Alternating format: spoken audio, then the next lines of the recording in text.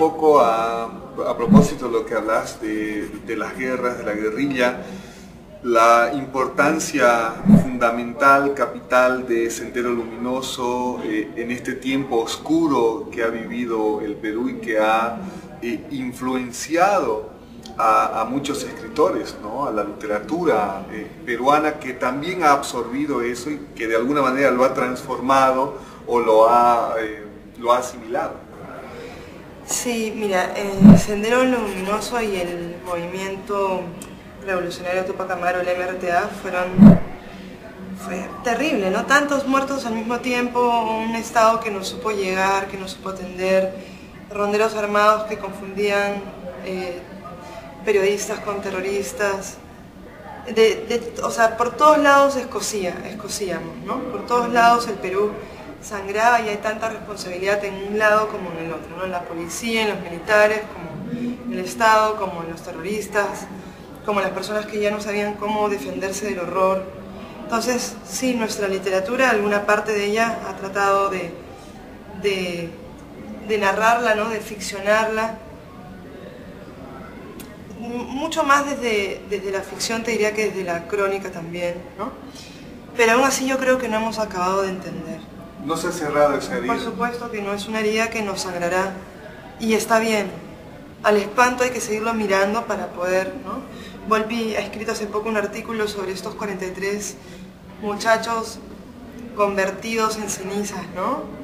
Eh, los policías, ¿no? La municipalidad los vende a los policías, los policías a otros policías, los, policías a los, a los narcos y estos muchachos han sido quemados vivos durante 15 horas y nadie vio esta piar arder, ¿no?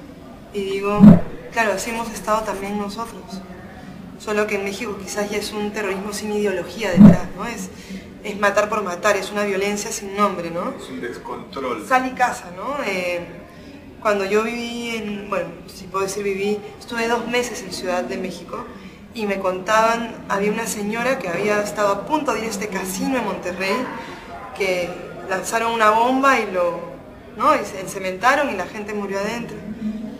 Y claro, ese horror quizás no tuvimos nosotros. Nosotros tuvimos el, un horror quizás terrible que es también el de la ideología, pero no sé, yo, no puedo entenderlo, no puedo explicármelo aún. Leo estos libros, ¿no?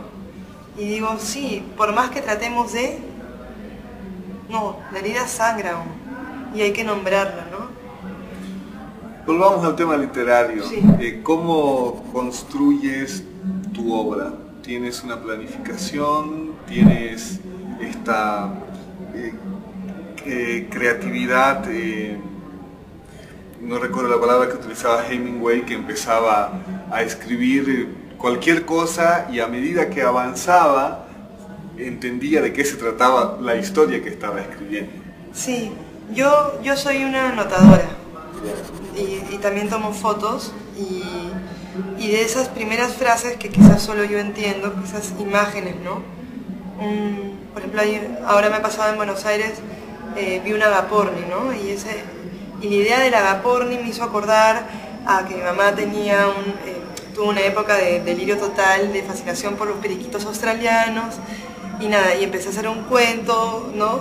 Que al final el título agaporni, pero digo, tengo estos disparadores, siempre estoy a la casa de ellos, de los disparadores y sí soy muy disciplinada, sí, en el sentido de escribir muy seguido todas las noches o cuando me provoca, cuando siento la pulsión, pero no soy tan, o sea, planifico el momento de sentarme, ya tengo mi agua, ¿no?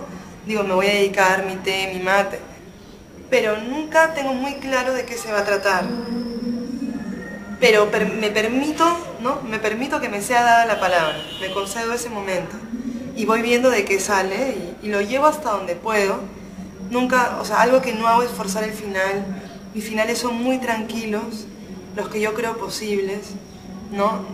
No, no escribo literatura fantástica, intenté, pero no es lo mío, soy más, voy más por lo realista porque es el presente es lo que yo tengo y es lo que trato de entender del pasado, del futuro, no sé, y es lo que me afecta.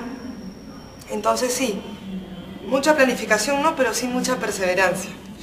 Em, ¿Tenés algunas obsesiones en el momento de escribir? ¿Eliges irte a una finca, encerrarte?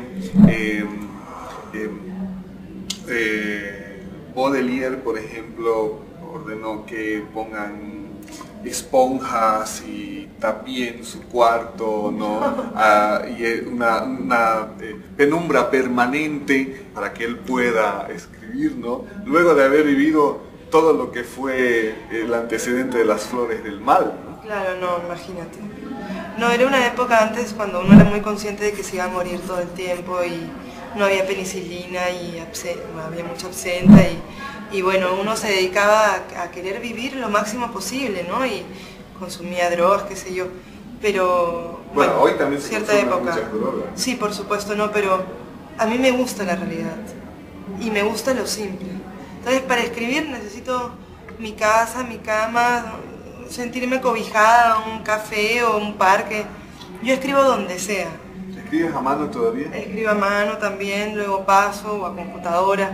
Puedo escribir. Para eso, mira, yo no soy ni caprichosa ni engreída ni con la comida ni para escribir. Yo escribo en donde sea como sea, con muchísima gente, sola, en un tren, en un avión, en mi casa, en la playa, o sea, no, realmente en cualquier mercado, o sea, donde esté, es caminando. Tampoco es que esté todo el día pendiente de voy a escribir, no. Cuando se me viene el momentito, lo aprovecho al máximo.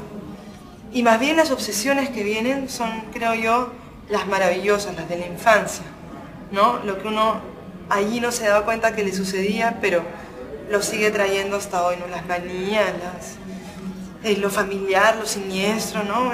A, a, esas más bien recurro. Pero no, a la hora de escribir, como me venga en gana, como decimos.